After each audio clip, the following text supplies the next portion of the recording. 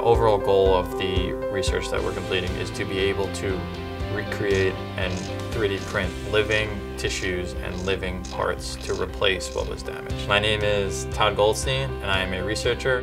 Bioprinting is a process similar to actually baking a cake where you have all of your ingredients. It would be made up of your own cells, your own tissue, your own body, load them into our 3D printer, which is kind of like our oven, push play, come back in an hour or two or less, and have our fully created trachea, for example.